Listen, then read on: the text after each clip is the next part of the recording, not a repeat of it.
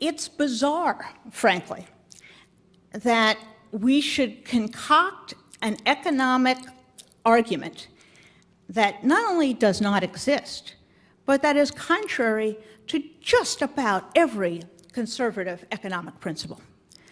Conservatives, you see, do not believe that immigration causes unemployment. That's a zero sum thinking that we usually attribute to our friends on the left. It's factually not true, and philosophically, it's abhorrent to conservatives who do not believe that if I win, you lose. Conservatives do not believe that millions of jobs were lost because of free trade. That's nonsense. We know that there has been a shuffling of the workforce. We know that a more automized, more uh, sophisticated workplace requires different skills, but we have not lost millions and millions of jobs to Mexico.